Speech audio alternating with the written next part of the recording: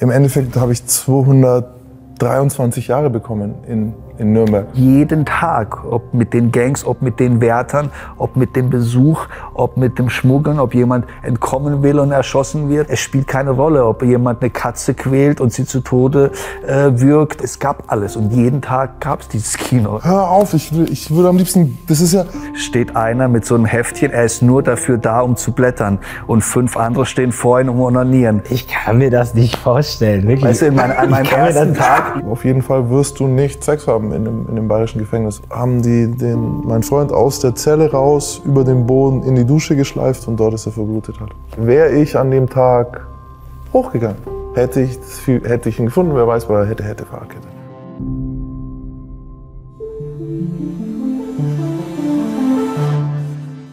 Hey Freunde und herzlich willkommen zu einer neuen Folge von Das Treffen. Mein Name ist Leroy und meine heutigen zwei Gäste verbrachten eine große Zeit ihres Lebens eingesperrt in Gefängnissen in zwei völlig unterschiedlichen Ländern. Ich werde heute auf Maximilian treffen. Er floh als junger Erwachsener vor der Polizei quer durch Europa und wurde irgendwann geschnappt. Unter anderem wurde er für Drogen- und Waffenhandel, Raub und gefährliche Körperverletzungen zu einer Haftstrafe von 13 Jahren verurteilt, wovon er mehr mehr als neun Jahre in einem deutschen Gefängnis absaß. Und ich werde auf Maxim treffen. Er wurde während eines geplatzten Drogendeals von der Polizei festgenommen und zu 13 Jahren Haft verurteilt, wovon er etwas mehr als acht Jahre im thailändischen Gefängnis absaß. Im härtesten Knast des Landes aß und schlief er zwischen Mördern und Vergewaltigern. Ich bin auf jeden Fall schon total gespannt und wenn ihr da draußen diesen YouTube-Kanal noch nicht aktiviert haben solltet, dann holt das jetzt nach, aktiviert den Kanal, abonniert die Glocke. Das Ganze ist kostenlos und wenn ihr selber mal mit dabei sein wollt, dann schreibt mir einfach und ich würde sagen, wir fangen jetzt an. Hallo, ich grüße euch. Alles klar, Männers? Ja, sehr gut, danke. Ja, super. Männer, ihr habt beide viel Zeit im Gefängnis gesessen. Darum wird es heute gehen. So viel darf ich auch schon vorwegnehmen. Aber meine Frage als erstes mal an dich, Maxim. Was glaubst du denn, was hat der Mann getan, damit er ins Gefängnis gekommen ist? Was hat er getan? Ich würde ihn vielleicht äh, ja, als sehr impulsiv ähm, einstufen, dass er vielleicht irgendwo mal kurz so einen Ausraster gehabt hat oder so, so einen Durchbrenner. Es gibt ja manchmal, man, man, man macht etwas, was man danach bereut. Vielleicht gewalttätig. Ich weiß es nicht, ob er jetzt unbedingt in der Drogenszene war, das glaube ich eher nicht. Aber auch da kann man falsch liegen. Ich kann es ja nicht sagen. Leo. Okay, also du tendierst so zu einem spontanen Ausraster.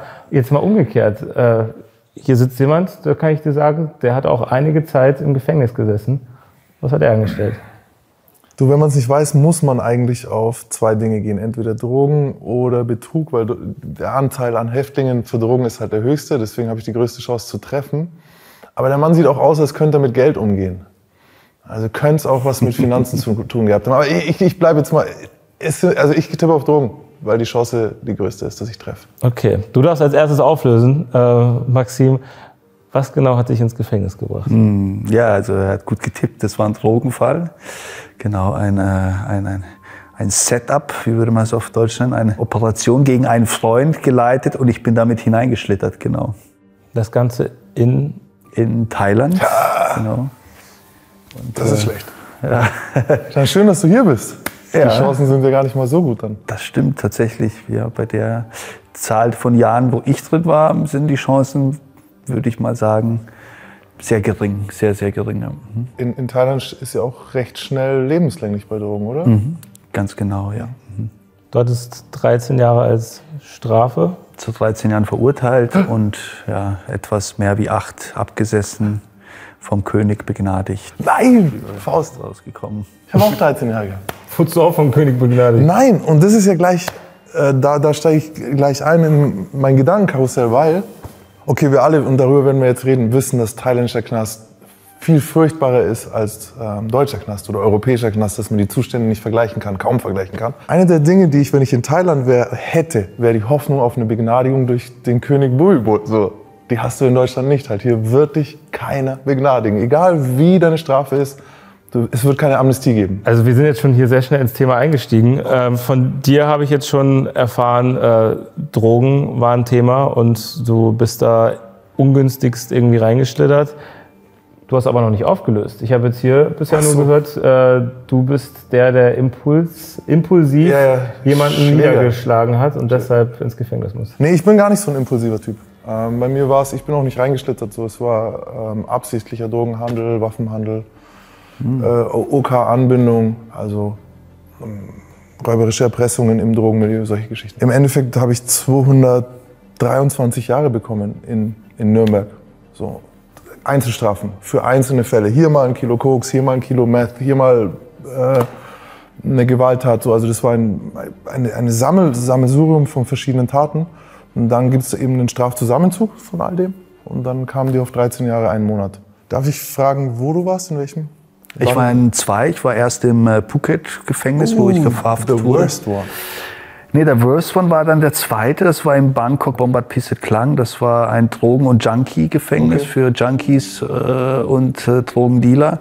Nur für Drogenfälle, wo die Menschenrechte, ne, das Recht zu waschen, zu schlafen, zu essen, äh, medizinische Versorgung nicht gegeben sind, wie man sie normalerweise kennen würde, auch aus anderen Gefängnissen. Das war dort gar nicht so. Also, Das Gefängnis, von dem du geredet hast, in Bangkok zum Beispiel, der ist gebaut worden, das habe ich vor kurzem gelesen, der ist gebaut worden für 1, 5 Gefangene und da sitzen mittlerweile 6, 8. Eine 2 zu 1 ist schon schrecklich. 6000 statt 1500. Das ist krass. Das ist War das denn bei euch so? unvorstellbar. Das ist unvorstellbar. Genau, also unsere Zelle in Bangkok ist für 30 Leute gebaut und ähm, 72 waren im Hör auf, ich, Fall. genau, ich würde am liebsten, das ist ja, das heißt, Klos für 30, das heißt Schlafplätze für 30. Und das, die sind schon knapp bemessen. Ne? Die sind wahrscheinlich auch eigentlich für 10, wenn man es menschlich sehen will. dass ein Gefängnis die dreifache äh, Über Überlastung hat von, von Menschen. Das ist dort völlig normal. Deshalb ist es sehr schwierig, dass jeder genug sauberes Wasser zum Waschen hat, jeder genug Platz zum Schlafen hat. Ne? Wir hatten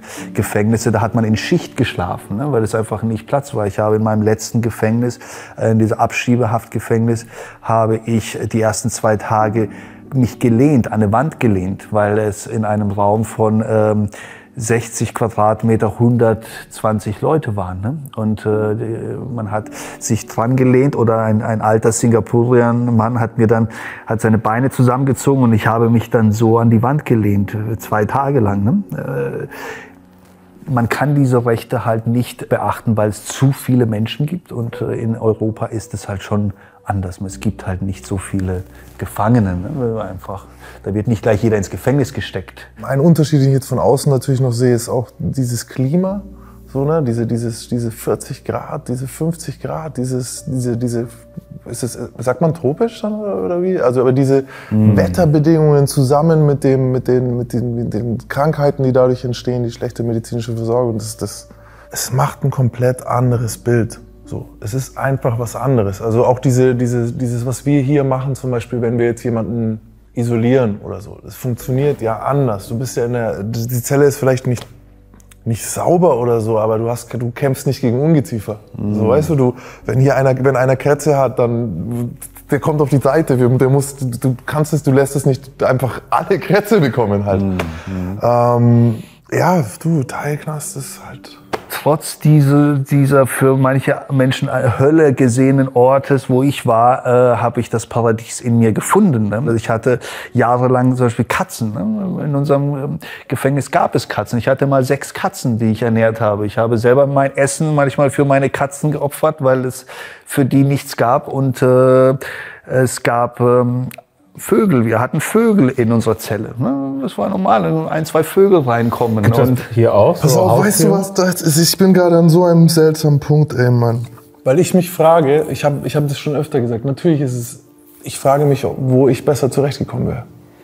Weil Menschen wie ich so, in diesem System hier in Deutschland, weder kannst du dich frei kaufen. So, ich hätte die Kohle gehabt, als ich verhaftet worden bin, ich hätte das Geld gehabt. Also wenn es für 70.000 Euro rausgegangen wäre, hätte ich sie gehabt. Die eigentlich mit Gewalt umgehen können. All diese Dinge, das nützt dir hier in Deutschland nichts, weil die sperren dich in einen leeren Raum so auf die Art. Und, und, und alles ist so, du kriegst keinen Vogel, du kriegst keine Katze zu sehen, du, du, du kriegst nichts, nichts, nichts, nichts halt. Und das war so, du kriegst auch kein Telefon, du, in Straubing gab es einfach nichts.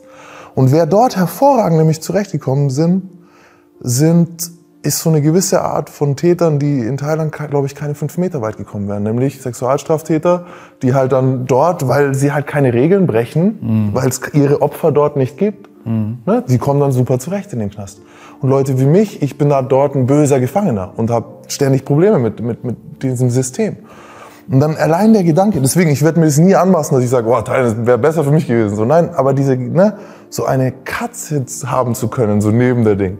Was das mit mir gemacht hätte, so. Ja, die Sache ist, dass du hast zwar die Katze, aber was du wegen dieser Katze alles durchmachst und was die Menschen, es gibt ja immer auch sehr äh, psychopathische Ach, äh, ja. Charaktere im Gefängnis, was du wegen so einer Katze alles durchmachst, ne? Und ob das du auch mal dein Leben riskierst wegen so einer Katze. Ich habe mich auch oft gefragt, wäre es besser, in einem deutschen Gefängnis gelandet zu sein? Musste ich durch diese harte Zeit gehen? Ich denke, diese Frage ist ähm, nicht zu beantworten. Mit welchen Leuten hattet ihr im Knast zu tun? Der erste Gefängnis war auch mit, mit anderen Ausländern. Das heißt, wir waren ja in Phuket, einer Urlaubsinsel. 50 Weiße, man hat uns ja ne, als Weiße abgestempelt, waren ja aus ganz Europa, aus der ganzen Welt in einer Ecke. Die war dann auf, bei den Kloaken, bei den Toiletten war die das Reich der Ausländer bei der Glocke. Und ähm, ja, ich bin natürlich gleich zu denen gegangen. Ich konnte ja auch noch gar keinen Teil. Und äh, da war alles in diesem ersten Gefängnis, war ja nicht jetzt spezifisch ein, ein Drogengefängnis. Da waren also äh, ein Amerikaner, der Navy SEAL Soldat war, äh, lag äh, sehr, sehr lange neben mir. Der hatte eine, ein Mädchen mit abends mit nach Hause genommen, sie zerstückelt in eine Tasche gepackt und äh, die Tasche hat er dann irgendwo weggeschmissen. Aber in der Tasche lag seine Telefonnummer drin, ne? ein kleiner Zettel mit Nummern. Und seinen Fall kann man auch heute noch im Internet gut beobachten. Und äh, der war wirklich schon sehr psychisch belastet. Der hat keinen ähm, äh, normalen Tag gehabt, sage ich mal. Der hat immer sehr schnelle Sch Sch Schwankungen gehabt.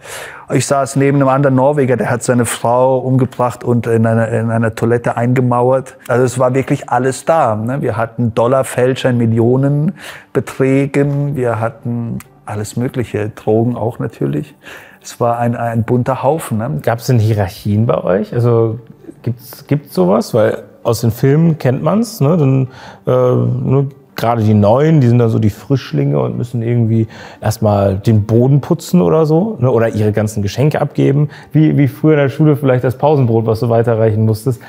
Alles Klischees in meinem Kopf. Mich würde interessieren, ist es in Realität auch so? Du klar, wer- kommt jetzt drauf an. Also es gibt, wenn du Gefängnisse in, die, in den USA anschaust, die sind komplett durchstrukturiert. Die Hierarchie gibt es. Es gibt Gangs in jedem Gefängnis, die, die gerade in den State Prisons, auch in den Counties. Also da, da gibt es die Hierarchie, da kommst du, dann wirst du einkategorisiert, teils auf deinen Charakter, teils auf deine Straftat, teils auf die Strafhöhe. Bei uns was, also in, in, in Deutschland und Niederlanden sind da sehr ähnlich. Es gibt Hierarchien, die entstehen auch aufgrund Tat, Persönlichkeit, ähm, Strafhöhe dann später auch noch. Aber die sind nicht so fest oder die, die, die sagen jetzt nicht so viel aus. Okay. Gab es bei euch eine Hierarchie, gerade weil du sagst, so, ihr hattet euer eigenes Reich, ihr Ausländer? Genau, also dadurch, dass im ersten Gefängnis so viele von uns da waren, war das halt leicht, die haben dir halt immer mm, geholfen, um dir zu sagen, hey, wo du aufpassen musst. Als Ausländer bist du immer eingestuft als letzte Klasse, das heißt, bevor du zum es hat nicht Monate gedauert, bis ich sauberes Wasser aus dem Becken bekommen habe, um mich zu waschen. Äh, Mein erster Tag war nur braune Soße und, und Seifenwasser. Äh, beim Essen ist es genauso, egal wo. Es hat mich Zeit gedauert, bis ich mal ähm, äh, anständig auch an die Reihe kam. Ähm, aber es gab jetzt äh, im Phuket eben diese Vorteile. Wir waren viele Ausländer. In Bangkok war ich der einzigste Weiße, also der einzigste Ausländer. Mein Vorteil war aber da, dass ich schon anderthalb Jahre im Knast saß und schon ein bisschen äh, Erfahrung hatte. Und ich kam rein und die Gangs in den Knast, also wir haben drei große Gangs. Äh, später habe ich auch zu einer angehört und ähm, äh, da gibt's immer Verrückte. Also es gibt immer welche, die sind ähm, sehr speziell. Die machen Sachen, die würde jetzt kein Normaler machen. ne? Erpressungen, äh, Gewalt. Ähm, ne? das hat jede Gangs, jede Gang hat diese Leute. Hast du auch in so einer Gang überlebt im Gefängnis? So wie gesagt, bei uns ist es, warum entstehen Gangs? Ähm, Gangs gibt es immer dort, wo der Staat schwach ist. Desto sch- schwächer der Rechtsschutz durch den Staat, desto schneller bildet sich eine effektive Gang. Und dann äh, über Zeit wachsen diese Strukturen. Und in Thailand sind es feste Strukturen, wo, wo auch bekannt, also das ist bekannt, dass es das gibt. Wenn du jetzt damit starten würdest, also wir haben eine kleine Gruppierung mal gegründet, ähm, dann hauen die sofort drauf. Also die, die nehmen dich ein Jahr lang in, in Isolation und dann war es das auch wieder so. Dann beruhigt sich das, weil das ja, muss ja über Generationen wachsen, das lassen sich ja eigentlich nicht zu. Was es hier eben gibt, sind die, die es draußen schon gab, also Strukturen, die es draußen gab, wenn dann viele aus gewissen Strukturen verhaftet werden. Äh, da gibt es dann jugoslawische Strukturen, also ex-jugoslawische Strukturen, da gibt es mal, mal russischsprachige Strukturen. Äh, die werden dann fortgesetzt im Gefängnis und die, die, die Grenzen sind, ich würde nicht mal Ethnizität sagen, sondern eher Sprache. Also du hast dann wirklich äh, Sprachengrüppchen, die sich bilden, aber es gibt jetzt nicht ein gefängnisübergreifende Gang in Deutschland. Die gibt es einfach nicht. Okay, also wenn es niemanden so, so automatisch gibt, dass du ins Gefängnis kommst und äh, dann direkt zu dieser Gruppe gehst und weißt, du bekommst Schutz, Genau. dann würde mich aber interessieren, wie bekommst du denn, also wie erarbeitest du dir den Respekt vor den anderen? Weil letztendlich geht es ja gar nicht darum, unbedingt mit einer Gruppe unterwegs zu sein, sondern du willst mit heiler Haut da rausgehen, also brauchst du irgendwie Respekt. Wie bekommst du Respekt? Gut, das ist dann eben dieses dein momentanes Auftreten. Wer bist du? Bei mir war dann, okay, ich bin ein junger Mann, der kommt mit einer 13-jährigen Haftstrafe. Dadurch ist schon klar, ich habe keine Aussage gemacht. Weil wen soll ich verraten haben? Also Ja. dann hätte ich keine, dann habe ich einen schlechten Deal gemacht mit den 13 Jahren. Also reicht das oder musst du dann da drinnen noch jemandem Das hilft schon mal. die Nuss Das hilft schon hauen? mal. Du musst, das, das, das, funkt, das ist der Gedanke, der stimmt auch nicht mal in den Ganggefängnissen eigentlich. Weil dafür gibt's die Gangs, dass du nicht reinkommst und gleich irgendwem auf die Nuss haust. Mhm. Weil dann, korrigier mich, aber dann erledigen die dich.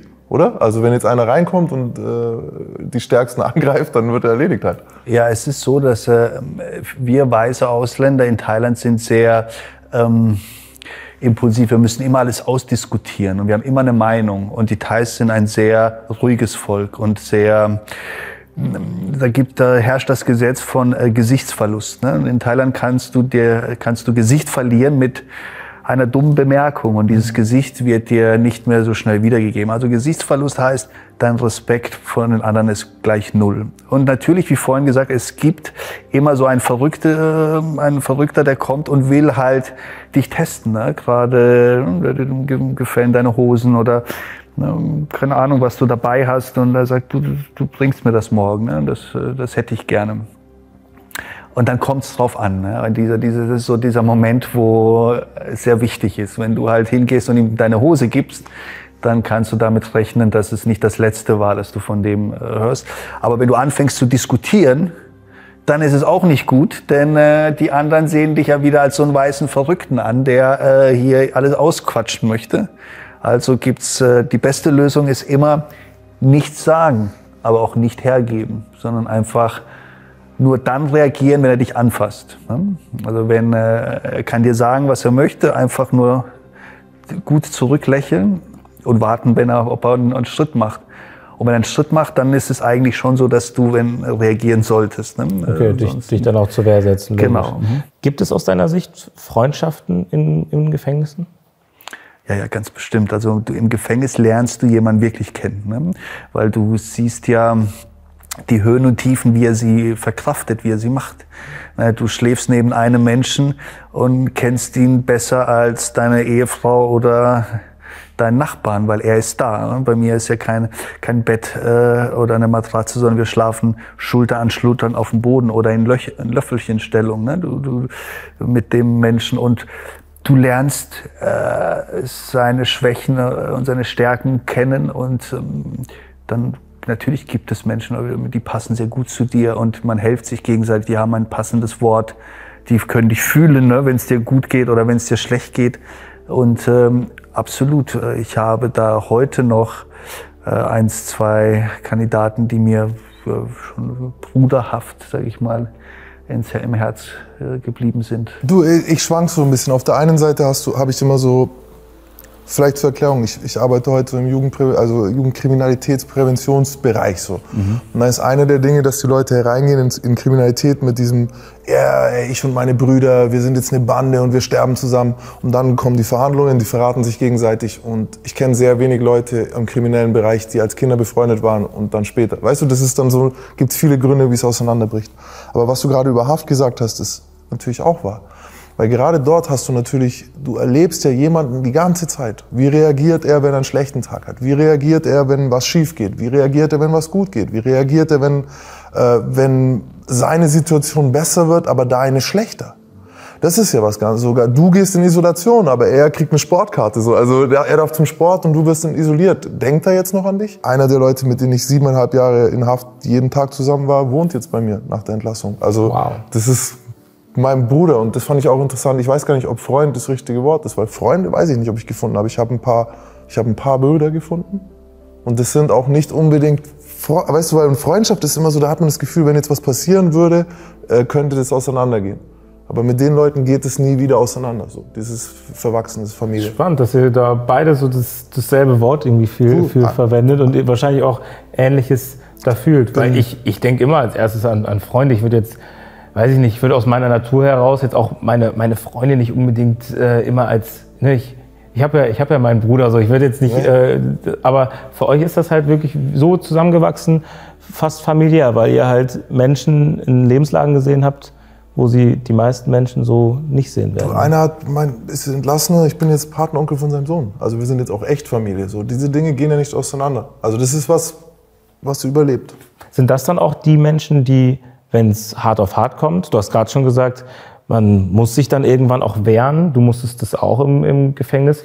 Sind das die Leute, die euch dann rausboxen oder anders gefragt, wie habt ihr euch verteidigt? Lieber im, im deutschen Gefängnis ist so, wenn du nicht willst, kannst du, also im Jugendvollzug ein bisschen anders, aber im Erwachsenenvollzug kannst du eigentlich durchrutschen ohne Gewalt. Also wenn du nicht dich mit Absicht, deswegen muss man ganz klar sagen, also meine ganzen Gewalterfahrungen in Haft hatten damit zu tun, wie ich mich in Haft verhalten habe. Nämlich ich wollte, äh, ich wollte Gangster sein, ich wollte weiter kriminell sein. Insofern musste ich mich involvieren und habe halt äh, die Gewalt auch auf mich gezogen. Ich habe aber Leute, die meisten Leute in deutschen Gefängnissen erleben keine Gewalt. Ich äh, kann mich erinnern, ähm, als ich nach Bangkok kam, dass man mich, äh, diese drei Gangs haben mich angeworben. Ich war zu der Zeit schon recht gut trainiert, habe ne, mir Muskelmasse aufgebaut und ich war sehr äh, beliebt, weil es gab keinen Weißen und ich war doch auch in der Lage, vielleicht mit drei oder vieren auszukommen, wenn es äh, dazu kommen würde. Und so hat man mich versucht anzuwerben und ich habe aber am Anfang immer strikt mein eigenes Ding getan. Ich habe mein Fitness gehabt, ich habe meine Bücherei aufgebaut und das war so mein Leben. Und ich habe niemanden, äh, ich wollte in keine Gang hineinschlittern. Ein Freund von mir, der mit mir trainiert hat, äh, wurde befördert als Chef der größten Gang. Es gab äh, diese drei großen Gangs, Bang Se und äh, Ding Dang und Januar. Das sind große Stadtteile aus Bangkok und die regieren auch in Bangkok und auch im Gefängnis. Und Bang Se ist so die, die größte Gang in meinem Gefängnis. Der Junge, der mit mir trainiert hat, wurde jetzt äh, äh, neuer Chef, weil der Alte entlassen wurde. Und dann hat er an einem Tag, Don hieß, hat er mich umarmt und hat gesagt, äh, Miki, du bist jetzt äh, Bang Se. Und er hat gesagt, Don, ach, du weißt, ich bin, ich, ich bin kein Gangmitglied, und ich gehöre niemandem. Und er hat gemeint, du bist Bangse, ja, ich bin Banks, ich bin der Chef und du, diese 300 Leute sind alles hinter dir. Und irgendwann mal war ich halt Bangse, habe mit denen gegessen und es wurde auch bekannt, dass ich dann äh, einer von denen war. Aber wie auch gesagt, ich habe nie bei, bei äh, Gangkämpfen äh, Leuten ins Gesicht geschlagen. Ich war bekannt dafür, die Leute auf den Boden zu legen und zwar von beiden Gangs. Und deshalb hat man mich da von Anfang an auch äh, in Ruhe gelassen, weil sie Leute immer wieder bezeugt haben, hey, ja, der hat, aber der hat mich in, auf den Boden gelegt und hat gesagt, ich soll liegen bleiben. Und so bin ich, na, man kann schon fast wie in einem Asterix und Obelix-Film das vorstellen, ich laufe da rum und, und, und hau den Typ auf den Boden und sag, bleib da und zu einem anderen auch und bleib da und Die sind alle einen Ticken kleiner gewesen als Du du. bist Ne? aber auch riesig, Alter. Ist nicht mehr pam, pam, Low-Kicks verteilt. Genau, die waren sehr klein und es war auch ein Drogengefängnis. Die waren alle sehr junkiehaft. Das heißt, die waren teils Haut und Knochen. Gibt es dann auch mal den Moment, dass Menschen sterben, weil da halt nicht schnell genug dazwischen gegangen wird oder ähm, dort Menschen aufeinandertreffen, die grundsätzlich eher das Potenzial haben, jemanden umzubringen, als es jetzt vielleicht draußen auf der Straße der Fall ist. Also es ist sehr, sehr selten, dass in deutschen Gefängnissen jemand getötet wird. Auch vor allem halt jetzt nicht nur so im, ja, was weiß ich, kann mal ein Streit sein oder so, aber dass wirklich Leute sagen, okay, wir töten diese Person gezielt, ist sehr selten. Aber es passiert. Also es ist so, ich erinnere mich genau, wie es war. Es ist auch einer der Tage, den ich nicht vergesse. Es ist auch, äh, ich habe es gehört, also ich habe die Tat gehört, aber habe sie nicht einordnen können. Wie passiert das in einem Gefängnis? Weil eigentlich seid ihr mit dem Schraubenzieher. Mehrere Schraubenzieher, mehrere Leute, mehrere Schraubenzieher. Was hört man dann? Schreie.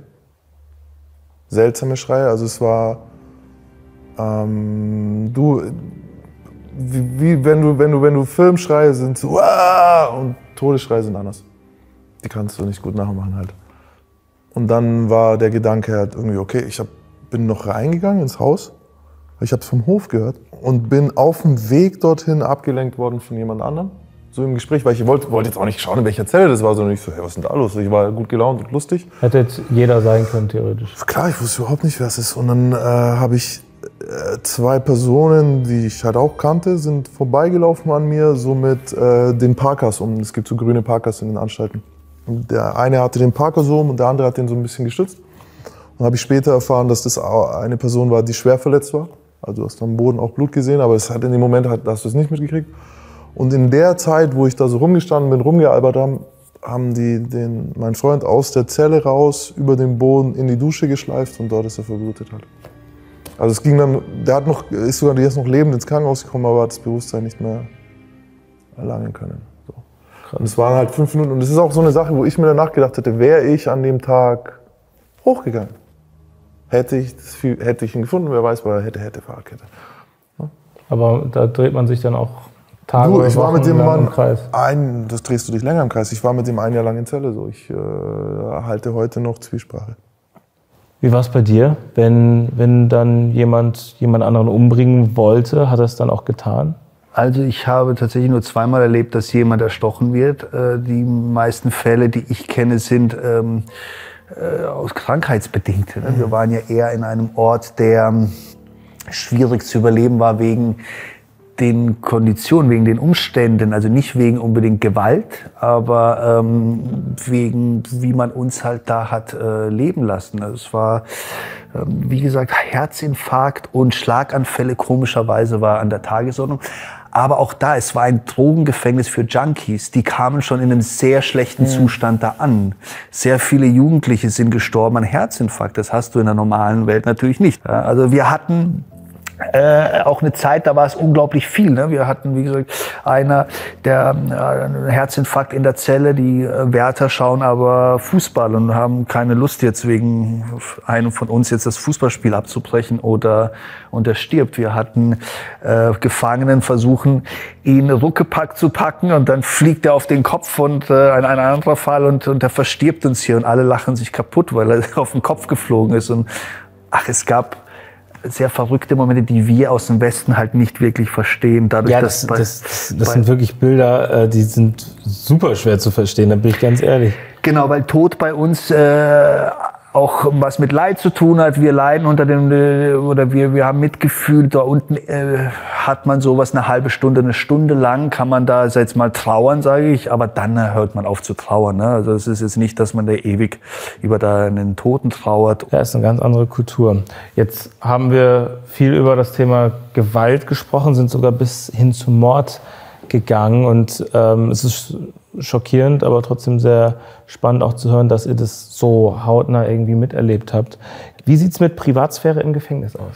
Lass mich anfangen, weil bei ihm es viel schlimmer ist. Ähm, bei uns ist immer, ich, ich, das Erste, was du im Gefängnis machst, ist dich nackt ausziehen. So. Also das ist vom Prinzip her, so, so geht's los eigentlich in jedem Gefängnis immer so ein bisschen. Du kommst dort hin, dann wirst du erstmal die, diese, dieses, du ziehst dich aus.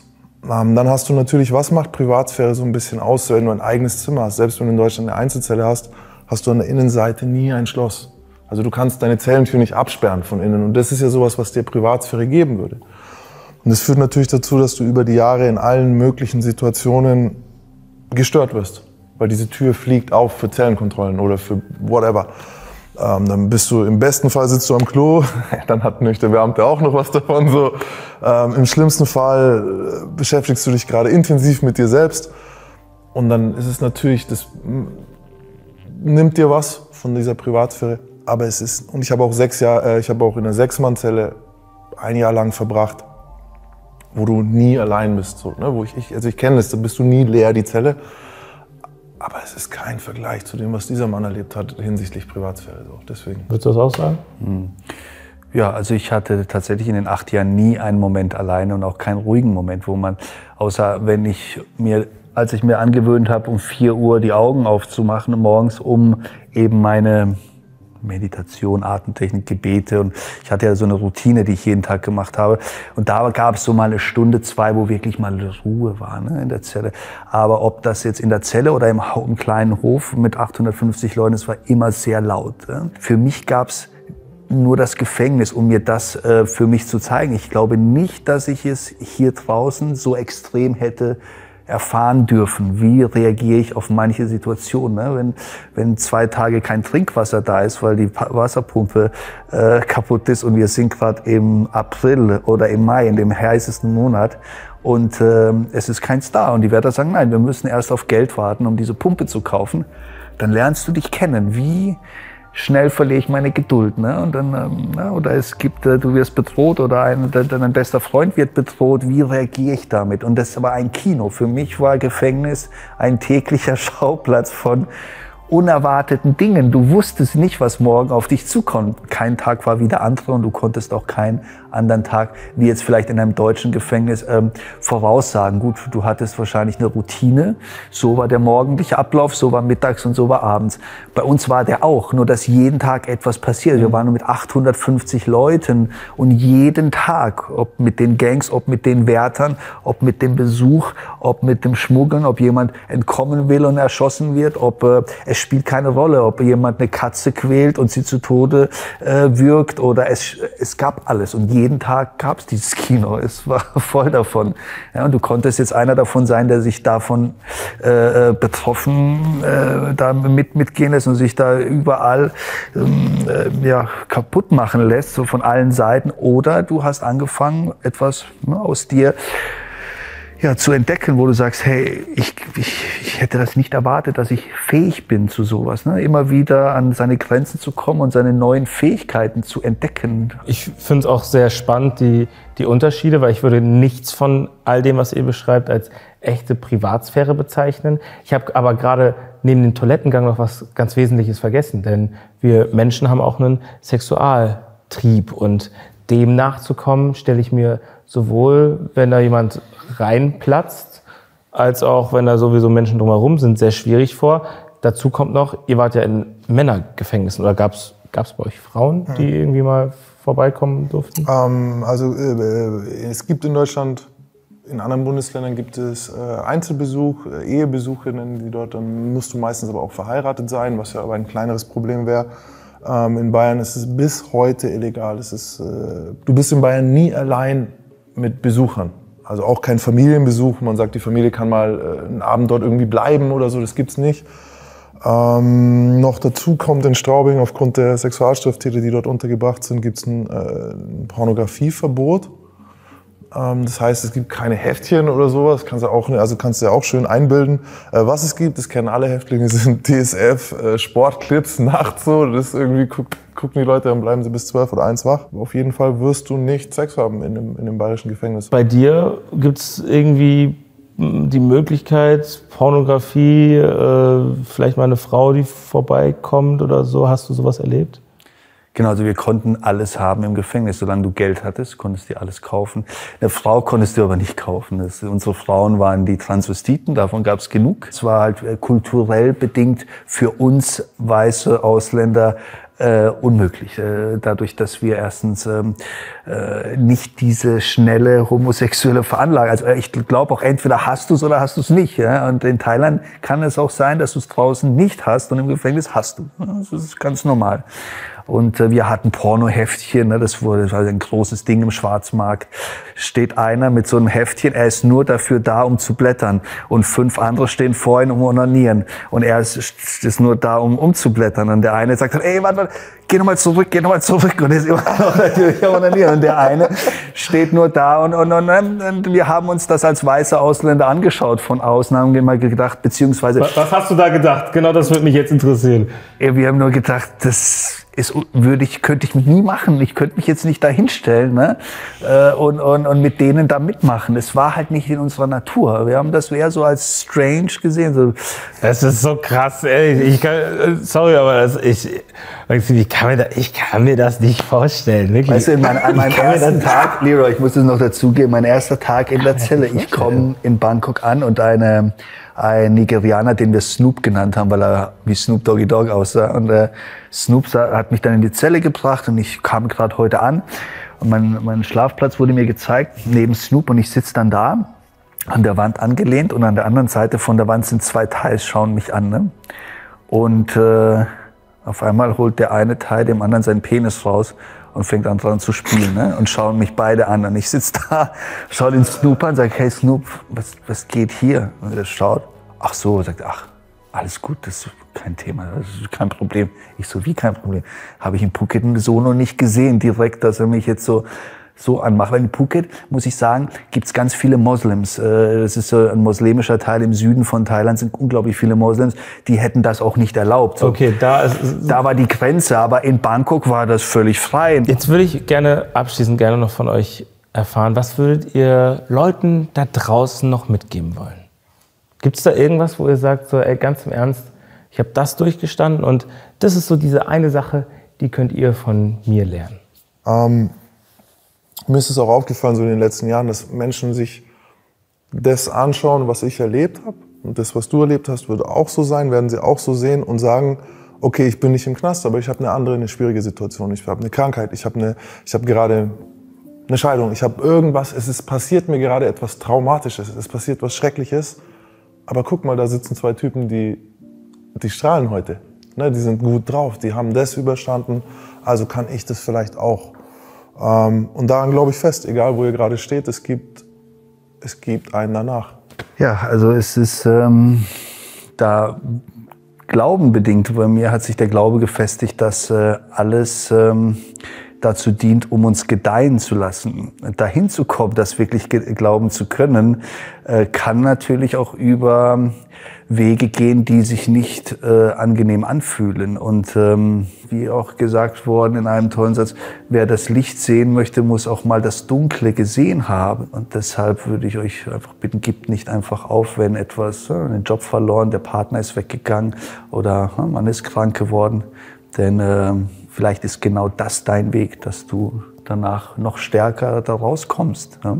Ihr sprecht mir aus der Seele. Also ich habe zwar selber nichts vom Gefängnis zu erzählen, aber muss ehrlich sagen, also so meine Lebensgeschichte mit Krankheit, da sehe ich sogar bei uns dreien sehr viele Parallelen. Es Genau. geht nicht immer einfach locker easy geradeaus. Und was wir daraus machen, das haben wir zum Glück oftmals auch selber in der Hand, je nachdem, welche Perspektive wir einnehmen. Ich habe heute mal zwei ganz verschiedene und auch ähnliche Perspektiven kennengelernt. Ich danke euch beiden vielmals, dass ihr hierher gekommen seid. Äh, Die beiden sind übrigens mittlerweile super erfolgreiche Speaker, Autoren im Internet unterwegs. Also lohnt sich da mal vorbeizuschauen. Und wenn ihr darauf keine Lust habt und hier auf YouTube bleiben wollt, dann habe ich hier noch irgendwo zwei schicke Videos für euch eingeblendet. Davon dürft ihr euch auch eins aussuchen. Äh, Wir dürfen jetzt zur Verabschiedung noch mal kurz winken. Macht's gut und bis zum nächsten Mal. Faust, Sizilien. gut gemacht. Gut gemacht, Männer. Gut gemacht.